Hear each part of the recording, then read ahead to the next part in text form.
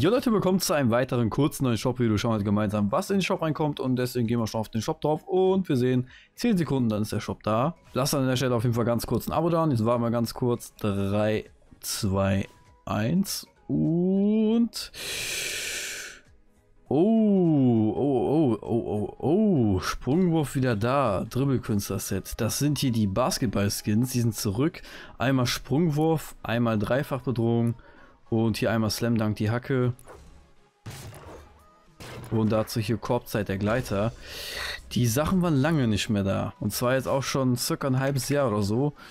Ja, sind auf jeden Fall selten geworden. Heute nochmal hier zurück, finde ich nice. Daneben gibt es hier dann nochmal, ich denke mal, ein neues Set, oder? Biker-Rucksack, kenne ich den schon? Ich weiß gar nicht. Stuntrad, hier ein Gleiter und Motorrüpel, doch, der ist nicht neu. Den gab es schon mal. Ja, auf jeden Fall auch nochmal die Sachen sind hier zurück. Und zu guter Letzt gibt es hier einmal den Castillo-Skin aus dem Kampfrieden-Set und einmal noch Asmodeus, auch ebenfalls aus dem Kampfrieden-Set mit mehreren Stilen. Einmal Standard und einmal Halstuch. Passend dazu einmal der Gleiter Fledermausi und hier Doppelschläger, die passende Hacke.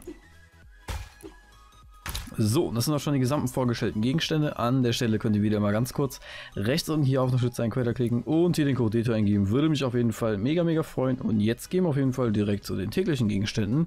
Hier gibt es vorne einmal den Vulture Skin. Ja, aus dem Luftschlag-Set ist auch noch relativ neu, hat so ein paar blaue Akzente, finde ich mega nice. Und ansonsten gibt es hier noch den Phoenix-Skin, dieser Fuchs-Skin. Ja, so ein Spaß-Skin, wie ich finde. Und ja, der sieht auch okay aus. Daneben gibt es hier einmal das Emote Extraterrestrial.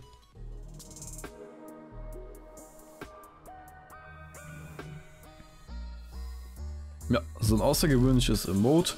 Und ansonsten gibt es ja einmal noch Kasachok.